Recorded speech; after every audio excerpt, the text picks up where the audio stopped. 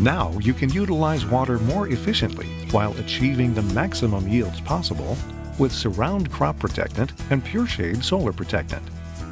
Both are produced by NovaSource, a global leader in sunburn and heat stress protection products in agriculture.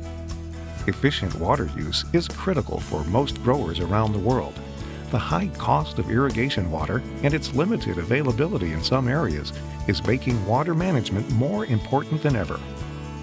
There are three environmental factors that affect water loss light, temperature, and relative humidity.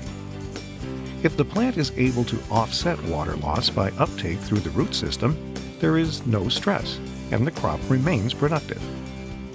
Under extreme heat stress, the plant loses more water than it can replace.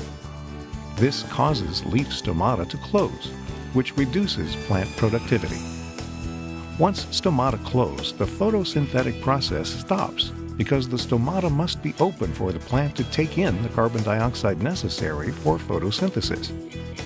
At this stage, sunlight is delivering energy that the plant cannot absorb productively. The plant is conserving water, but it is not being productive. The plant's water use efficiency is therefore lower. When conditions are severe, free radicals form that can be damaging to plant cells.